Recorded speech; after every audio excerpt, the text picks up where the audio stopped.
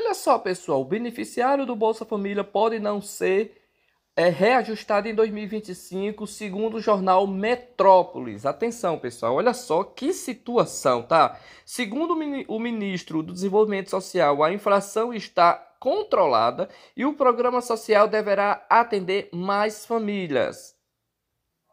Os beneficiários do programa Bolsa Família não devem sofrer reajuste em 2025. De acordo com o ministro de Desenvolvimento Social, Wellington Dias, quem cuida do programa do governo federal não prevê os reajustes para o ano que vem, segundo ele.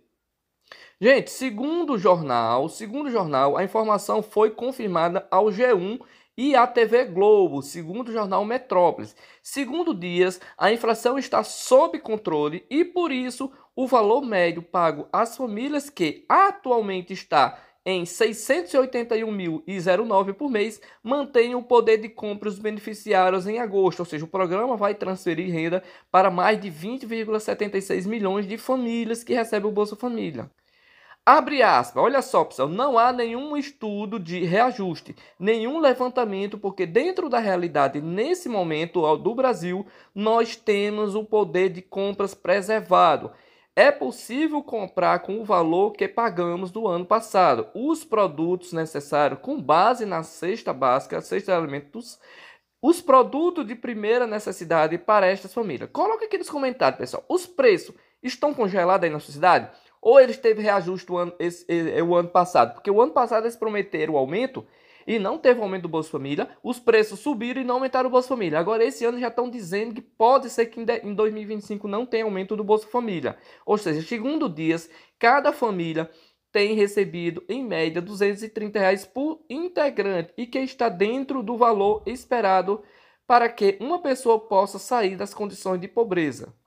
Bom, o segundo orçamento, né, ah, os integrantes do Palácio do Planalto e o do Ministério do Desenvolvimento, nas discussões, afirmaram que a verba para o Bolsa Família não, deve, não deverá ter um aumento significativo, ou seja, auxiliares do presidente Luiz Inácio Lula da Silva do PT estão finalizando a proposta de orçamento de 2025 de responsabilidade do Ministério do Planejamento, detalhando os gastos de cada ministério e cada programa.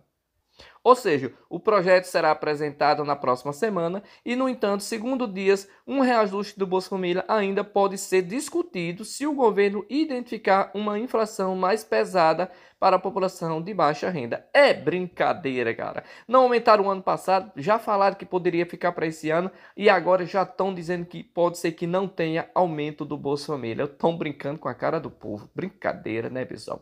É difícil, pessoal, mas infelizmente é isso é a realidade que está surgindo. Bom, vamos aguardar aí, tá, pessoal? Ainda não foi finalizado, não tem nada confirmado ainda, tá? Mas vamos aguardar aí a possibilidade aí de eles rever essa situação e aumentar o Bolsa Família agora em 2025. Vamos aguardar qualquer informação eu trago aqui no canal. Deixa o like aí no canal, se inscreve no canal. Muito obrigado e boa noite a todos.